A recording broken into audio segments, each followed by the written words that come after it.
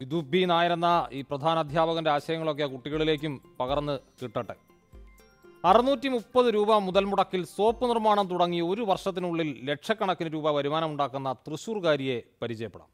പെരിഞ്ഞോട്ടുകര സ്വദേശി ശ്രീലക്ഷ്മിയുടെ വ്യത്യസ്ത തരം സോപ്പുകൾക്ക് ഓൺലൈൻ വിപണിയിൽ ആവശ്യക്കാരേറെയാണ്. അഞ്ച് യുവതികൾക്ക് ജോലി നൽകാനും ഇതിലൂടെ അവർക്ക് കഴിയുന്നുണ്ട്.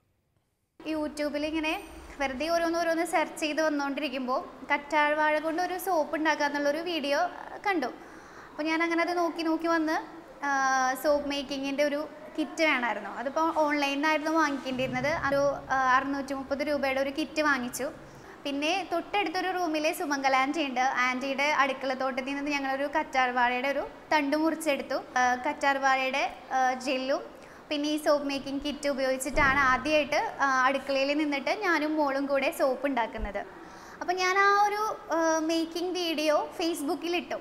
ഞാൻ ചെയ്യുന്ന ഒരു സന്തോഷം ഫേസ്ബുക്കിലിട്ടപ്പോൾ കുറേ ആൾക്കാർ നല്ല നന്നായിട്ടുണ്ട് എന്നൊക്കെ പറഞ്ഞു. പിന്നെ അവർക്ക് അത് സോപ്പ് വേണമെന്ന് പറഞ്ഞു. അങ്ങനെ ഞാൻ ഒന്നുകൂടെ വീണ്ടും ഒന്നുകൂടെ ഓൺലൈനിൽ തന്നെ ഒരു നാലിനെ ഉണ്ടാക്കുന്നത് വാങ്ങിച്ചു.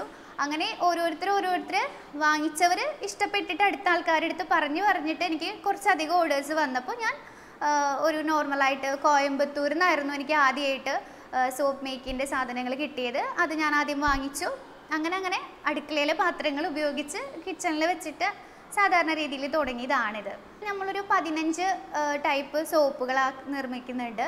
Red wine aloe vera charcoal papaya shea butter ഇതൊക്കെയാണ് നമ്മുടെ പ്രധാനമായിട്ട് വരുന്ന സോപ്പുകൾ അടുത്തൊരു ട്രേഡിംഗ് ലൈസൻസും ജി എസ് ടിയും പിന്നെ ഒരു എക്സ്പോർട്ട് ലൈസൻസും സോപ്പിന്റേതായിട്ടുള്ള കോസ്മെറ്റിക്സിന്റേതായിട്ടുള്ള ഒരു ഡ്രഗ് ലൈസൻസ് ഒക്കെ എടുക്കാനാണ് ഞാൻ ഇവിടെ വീട് എടുത്തേക്കുന്നത് അല്ല ഇതിൽ നൂറ്റൻപത് തൊട്ട് മുന്നൂറ്റമ്പത് രൂപ വരെ വരുന്നുണ്ട്. പക്ക ഓർഗാനിക് സോപ്പുകളായതിന്റെ പേരിൽ അത്ര വരുന്നുണ്ട്. പിന്നെ നൂറ് ഗ്രാമിനാണ് അത്രയും വരുന്നത്. റോ മെറ്റീരിയൽസ് നമ്മൾ കോയമ്പത്തൂർ വയനാട് പൊള്ളാച്ചി എന്നൊക്കെ വാങ്ങിക്കുന്നുണ്ട്. അല്ല നമുക്ക് ചെയ്യാൻ പറ്റാത്തതായിട്ട് ഈ ലോകത്തൊന്നുമില്ല. ഞാനൊന്നും ഒരിക്കൽ പോലും ചിന്തിച്ചിട്ടില്ല ഇങ്ങനെ ഒരു സ്ഥാപനം തുടങ്ങുന്നു ഇത്രയും പേർക്ക് ജോലി കൊടുക്കാൻ പറ്റുന്നു ഒന്നും എനിക്ക് അറിയുന്നുണ്ടായിരുന്നില്ല നമ്മൾ വീട്ടിലിരുന്നിട്ടാണെങ്കിൽ പോലും ഇപ്പം നിങ്ങൾ കണ്ടല്ലോ ഒരു ചെറിയൊരു ഒരു പാത്രത്തിൽ വെച്ചിട്ടാണ് ഞാനിത് തുടങ്ങിയിട്ടുള്ളത്. എത്താൻ പറ്റുന്നുള്ള ഹൺഡ്രഡ് പെർസെന്റേജ് എനിക്ക് വിശ്വാസമുണ്ട്. അതിന് വേണ്ടിയിട്ട് നമ്മൾ എല്ലാവരും ശ്രമിക്കുക.